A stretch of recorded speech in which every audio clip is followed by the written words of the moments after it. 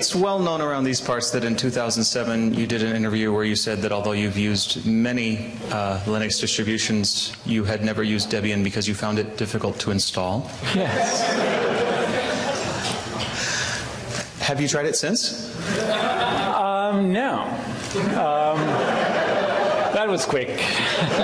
uh, so uh, I'm sure it's gotten much easier to install. It, to me, a distribution is, I'm sorry, you may want to close your ears now.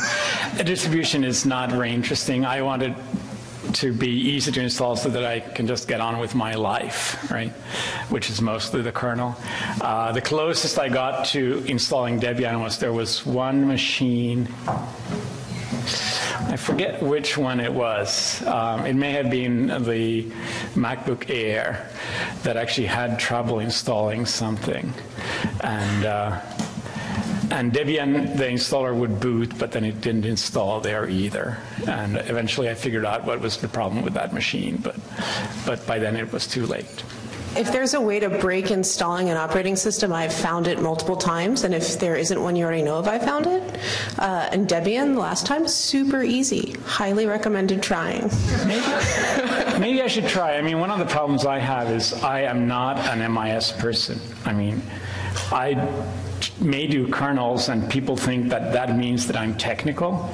But when it comes to actually maintaining machines, I am a complete disaster, right?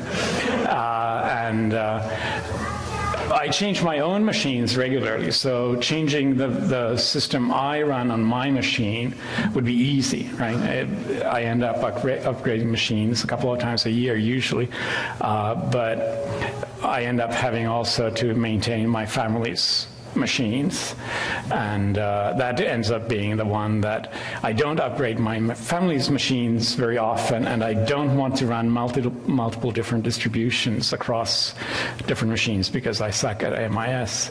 So, so it ends up being, for me, a distribution is something very sticky. Once I started with one thing, I have a really hard time just doing something else because that means I have to switch over all my kids' machines, my wife's machine, and and, uh, and that's just painful. So that's why.